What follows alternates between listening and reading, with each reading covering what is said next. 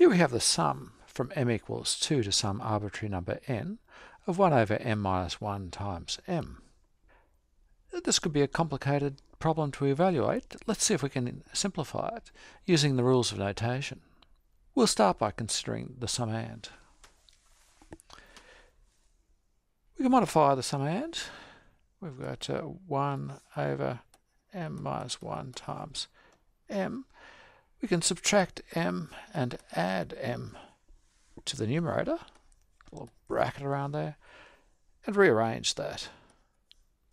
So we'll have m, let's make that minus, so we've got a minus there, so we need to swap the 1 and the m there, so it'll be m minus 1 over m minus 1 times m.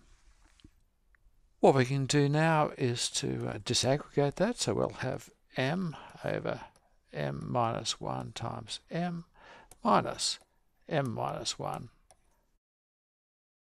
over m minus 1 times m.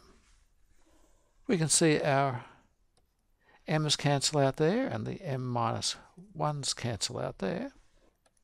So now we're left with 1 over m minus 1 minus 1 over m. Let's put that back into our original problem.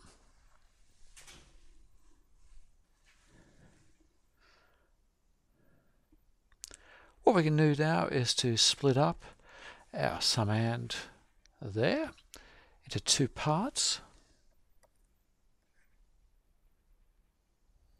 Let's write out these two summations more fully. The first one is equal to, well, if m equals 2, we have 1 over 2 minus 1, so it'll be 1. If m equals 3, we'll have 1 over 3 minus 1, it'll be 1 over 2, and so on plus, and we'll have 1 over n minus 1. It's the first summation there.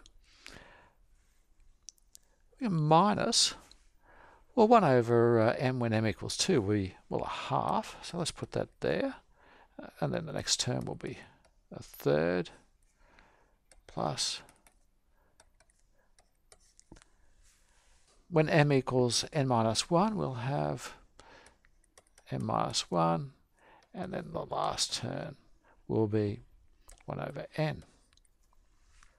What we can see is because we have this uh, minus sign there, that these terms cancel out. What we have left then is 1 minus 1 over n, which is a much simpler problem than our original summation up here.